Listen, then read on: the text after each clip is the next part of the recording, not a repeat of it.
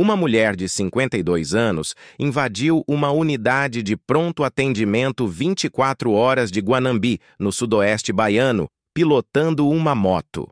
O objetivo dela era acordar os médicos que estavam dormindo e não realizam os atendimentos dos pacientes.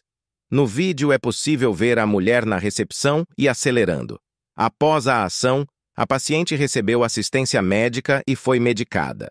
O que acharam da atitude? A seguir, vamos assistir o vídeo do ocorrido.